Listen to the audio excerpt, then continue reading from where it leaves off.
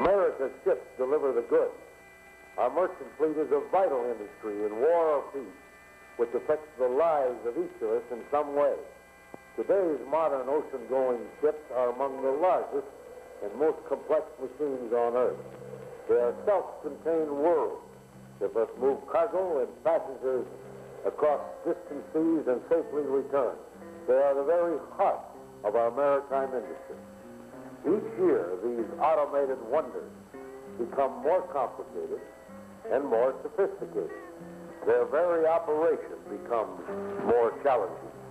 Highly trained specialists known as marine engineers operate and maintain the complex mechanical systems and devices which make it possible for a ship to perform its vital tasks. In this and associated fields, the vitality of this country's entire maritime industry depends on our ability to fill existing and future career vacancies with the highest caliber of men. The minute you emit the steam, you want the rotor to start turning, prevent it from warping, overheating, and so forth.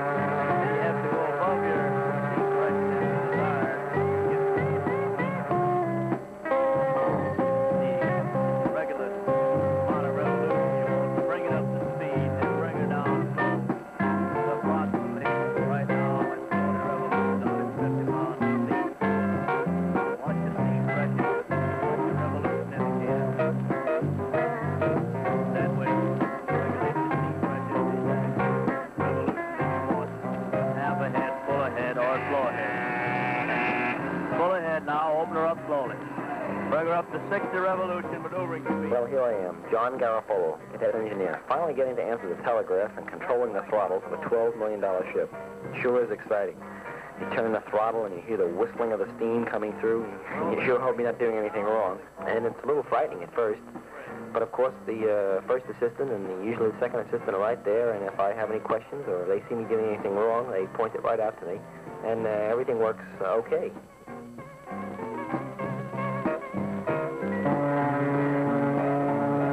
Without specially trained marine engineers, America's ships simply could not sail, could not deliver the goods. Consider the problem. It takes years of training to operate a complex modern ship. With each year, more veteran marine engineers are retiring at an earlier age. It is impossible to fill these critical jobs with the graduates of the Maritime Academy or the men up from the ranks. Recognizing this critical problem, the Marine Engineers Beneficial Association, the MEBA, entered into a unique venture of 165 of America's steamship companies, a venture to ensure the constant flow of highly skilled marine engineers to operate the American maritime vessels. Young men who are chosen come from all over the country to study at the Calhoon MEBA Engineering School in Baltimore. This two-year crash program prepares these cadets for exciting and challenging careers as Marine engineers. Far more than just mastering a tough college-level classroom curriculum, the cadet engineer learns everything about a ship, right from the keel up. Yeah, that's right. Yeah, that's no, no, no. No, to slide off your main superheated steam, but your turbo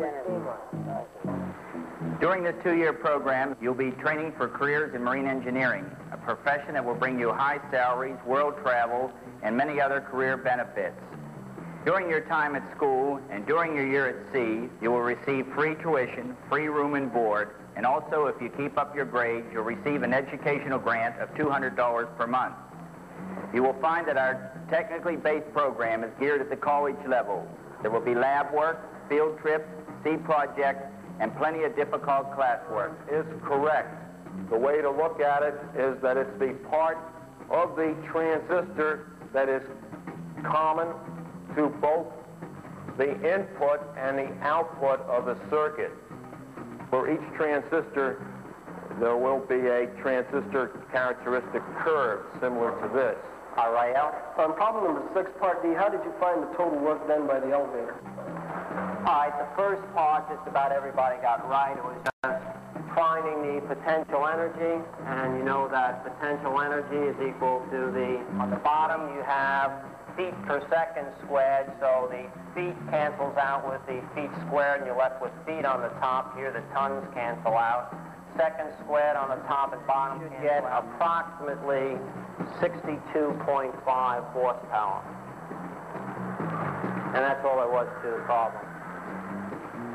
I think the uh, main problem was that everybody knew how to do most of the problems, but they were caught by the time limit so that if you had studied the material more recently, instead of just assuming that you knew it, then I think everybody would have done all right.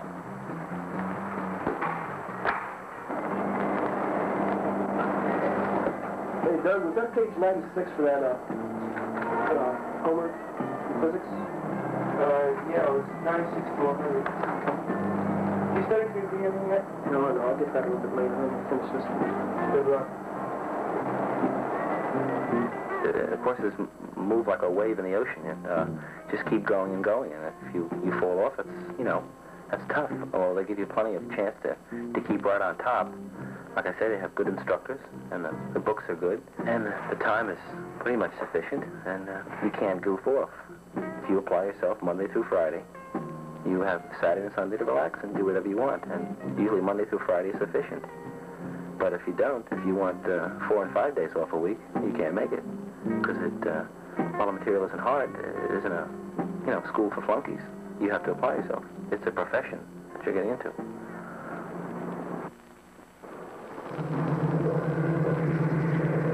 The Bethlehem Steel Corporation's Sparrows Point Steel Plant has a unique capability of producing an entire ship from the keel up.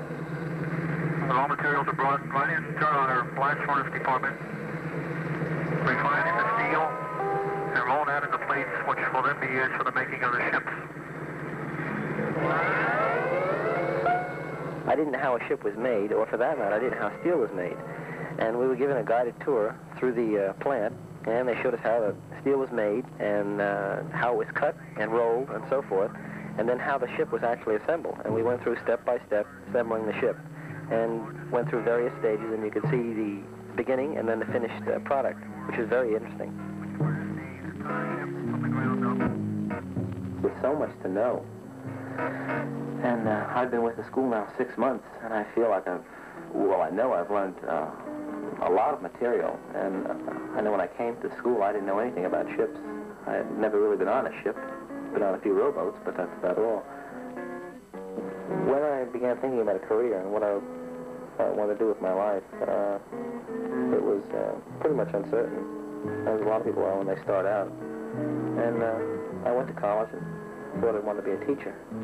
But uh, I heard about from a few friends, I heard about the school, and I looked into that, and uh, it seemed uh, more promising than, uh, than the education I was going into. Superheated steam, that's I know. They don't, they don't use auxiliary. Well, they have the same interest, and it's sort of fun too. You get down, uh, down to eat in the cafeteria, and uh, you have a problem where you, you have a, a doubt about what one of the professors said, the teachers, and you can discuss it. Everybody's learned the same thing, and different ideas, and you know, you think what could be made improved upon, and so forth. Which is the valve down, the valve opens. This is enough with Then when you turn it to the left, it closes the valve. It's not like any other valve. So you let it run, and it rotates it slowly around so it doesn't bow in one spot. I, I again, here's this is my system. That's nice, The course is uh, very ambitious, if you can hack it. Yeah, you got to try it. Part of it.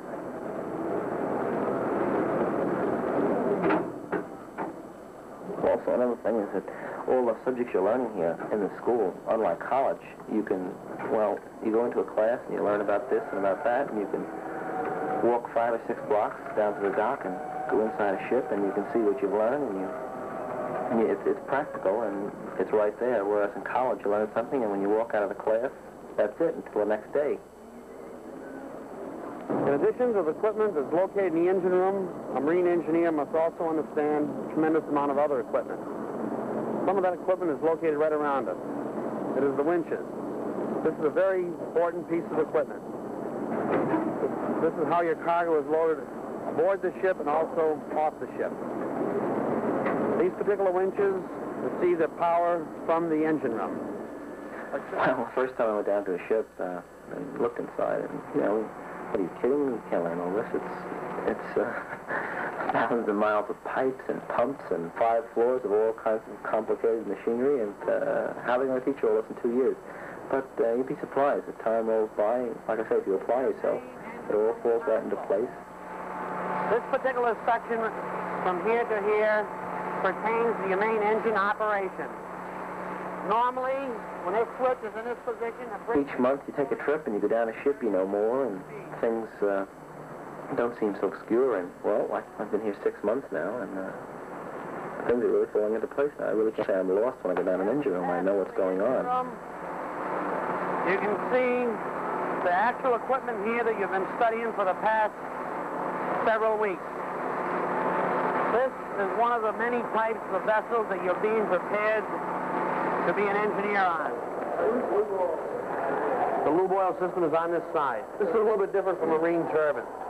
Over here you have a little tank. Your pump will pick up your lube oil and send it through your various bearings.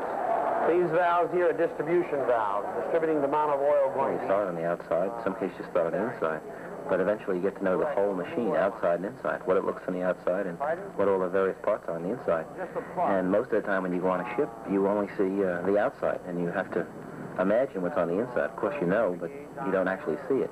And going on various uh, field trips, uh, like Annapolis and so forth, they have a lot of these machines uh, cut away in sections, and you can look right inside, and it's no mystery. It's it's right there, what you learn.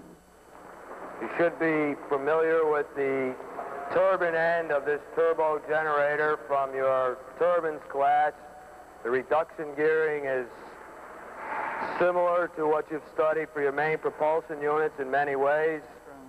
talking about the different ways of classifying turbines and the different uh, ways they are arranged on the ships.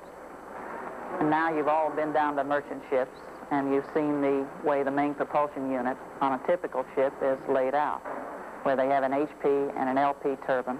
And now, here at Annapolis, you're getting your first chance to see a main propulsion turbine all opened up. Everything we've talked about in class is right here for you to see. Our atomizing valve is so we can maintain our two-pound pressure differential between the auxiliary exhaust and the steam that gets into our conical baffle itself. How is the conical baffle regulated? Conical baffle is regulated with the outside lever there. If we turn the wheel and open up here, we're going to maintain our two-pound differential dry pipe. You see your internal feed pipe coming in on the bottom. On your recent field trip to Annapolis, they had a cutaway of a Navy Type M boiler.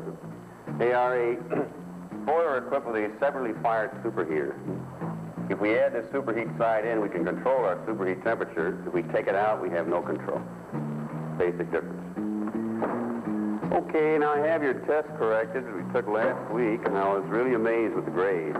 Some of the top grades I've seen since I've been teaching here at the Calhoon School. And uh, keep up the good work. Here are the educational grant checks for your group. Thank you, Mr. Libby. Only those students that are successfully passing their course of studies will receive a check. Most of the students that had money deducted for failing grades have made up their work and are now receiving the full amount. Break time. Anybody want to get paid? Come on.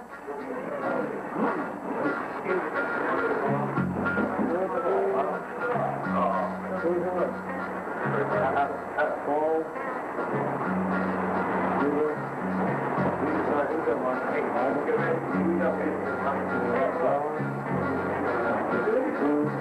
すいません。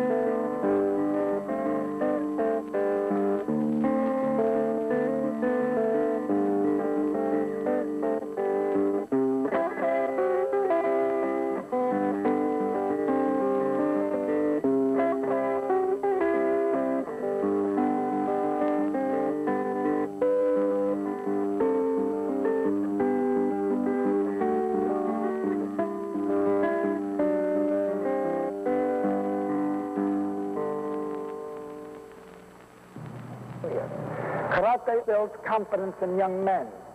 The way to confidence is through karate. The word karate means empty hand. It is a system of self-defense.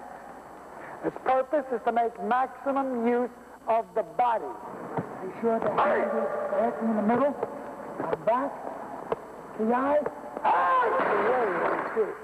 The way to break is one leg up, right there, to the stomach, out. Thrust kick, that's wrong. Back kick, be sure that your back is facing him. Want to hit him with the heel of your foot. You want to break the guy up, so be sure that your back is facing him. Okay? Again.